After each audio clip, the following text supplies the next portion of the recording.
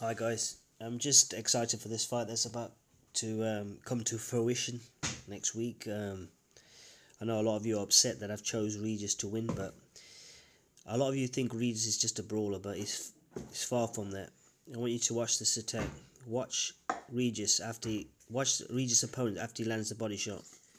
He thinks another body shot's coming. Watch the jab. Beautiful. You know, one thing I don't like is fighters. A lot of fighters you train, um, you'll you'll train them. You'll tell them a specific drill to do, and they'll go and they'll do the drill. But they're in in between the drill. They start doing anything they want to do. Those fighters will never learn. Um, and this is what I like about Regis.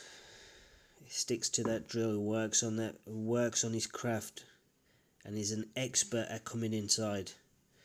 He can fight on the inside, he can fight on the outside.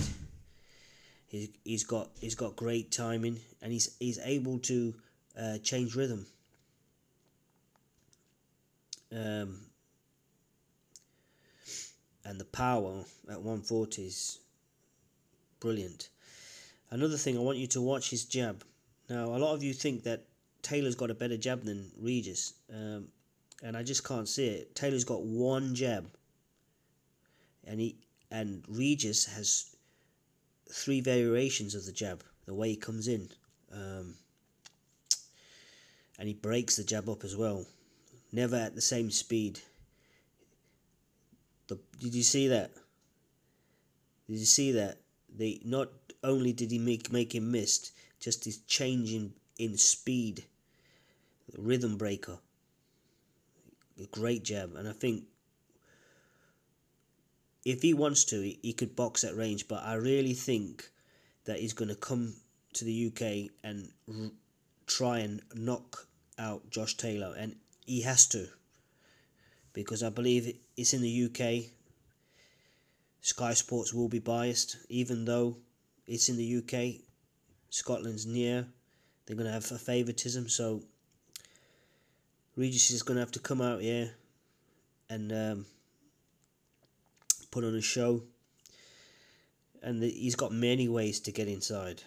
Um, at some point, Josh Josh Taylor, even if just, just say for instance, Josh Taylor is outboxing him, which I don't think he will. At some point in the fight, it's going to become a dogfight. Then, then we're going to truly see what what Taylor's um, Chin's made of. I know he was hit. He was hit with a lot of shots from Baranchyk, and it, and it, it bothered him from round six to ten. You watch. Now I know Taylor could have just kept on the outside and carried on boxing, but Regis has got a few dimensions in that he, he can box with Taylor. What happens if Regis goes out there and decides to box at range, and Taylor and he's outboxing Taylor because it can happen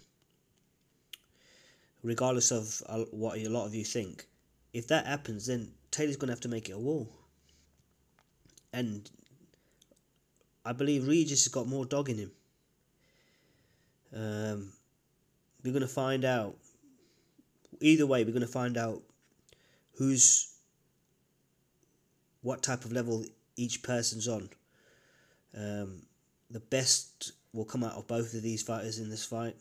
I just believe Regis is this is his coming out party, guys. No disrespect.